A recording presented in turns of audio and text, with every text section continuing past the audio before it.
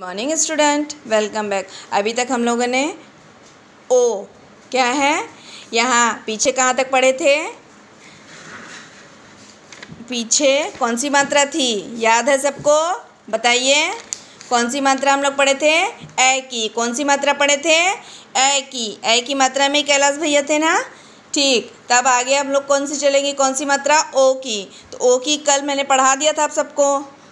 और होमवर्क भी दिया था ना। आज इससे रिलेटेड क्या चलेंगे इसका? लेसन अब लेसन बुक से पढ़ा रहे हैं इसलिए क्योंकि आपको पूरा पिक्चर्स इसमें दिख जाए अच्छे से। क्योंकि जगह जगह क्या दिया है? वर्ड नहीं दिया है। ध्यान से देखिएगा। जगह जगह वर्ड नहीं दिया गया शब्द। उसमें क्या दिया गया है? पिक्चर बना के दिया है। उसके हिसाब से हमको उसको भरना है कि वहाँ क्या हो सकता है। तो ध्यान से देखिए देखिए, सोनू आसमान की ओर देखा। सोनू आसमान की ओर देखो, क्या है? सोनू आसमान की ओर देखो, बादल घिर आए हैं, क्या है? बादल घिर आए हैं। फिर क्या है, देखिए, शायद, देखिए ध्यान से, शायद बारिश बारिश का क्या, बारिश लिखा हुआ है यहाँ पे? नहीं लिखा हुआ है, यहाँ पिक्चर बना हुआ, देखिए। तो ये हमको समझ में आ रहा है कि क्या होता है इसको, क्योंकि हम लोग वर्ड पढ़े हैं। और ये चित्र से ही हम लोग समझेंगे कि कौन सा यहाँ पे शब्द बनेगा, ठीक है? तो शायद बारिश होने वाली है। लो, बादल ज़ोर ज़ोर से गरजने भी लगे। छोटा, ये ओ की मात्रा भी ध्यान देते जाइएगा। छोटा सा छोटा सा क्या है? छोटा सा खरगोश डर गया।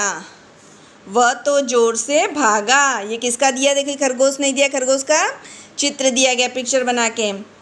तभी गोपाल मनु मोनू, गोपाल मोनू सब पे देखिए ओ की मात्रा है। तभी गोपाल मोनू, मोहन तथा सोहन सब पे ओ की मात्रा है ना? ग पे भी, म पे भी, म पे भी, फिर स पे भी। भी बाहर आ गए। अरे, उधर देखो। यह उधर देखो। वह, ये क्या है चित्र? देखिए किसका है? मोर का। मोर नाचने लगा। पेड़ पर बैठी। चिड़िया चुप है। दूसरी डाल पर बैठा। दूसरी डाल पर बैठा तोता। क्या है दूसरी डाल पर बैठा तोता? कुछ खा रहा है। कुछ दूर एक, अब ये देखिए किसका पिक्चर है, इसको ध्यान से देखेंगे समझ पाएँगे। लोमड़ी। कौन है? लोमड़ी खड़ी है। लगता है वह कुछ सोच रही है। तो बुक आप सब लोग भी ले लेंगे, जिसके पास नहीं है, क्योंकि बेटा बिना बुक के हम लोग अच्छे से पढ़ नहीं पाएँगे। और देखिए बुक लेने पे, अब ये देखिए पिक्चर्स है ना, इसको हम लोग वाइट बोर्ड पे कैसे बता पाते हैं? तो ये लेसन पूरा बुक से ही हम लोग ध्यान से पढ़ पाएँगे, ठीक है बेटा?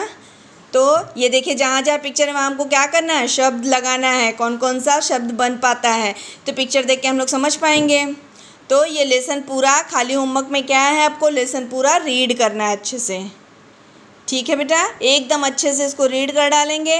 तो कल इससे रिलेटेड जो गुनगुनाओ पोएम रहता है, उसको हम लोग पढ़ाएँगे और एक्सरसाइज शुरू करेंगे। ठीक? ओके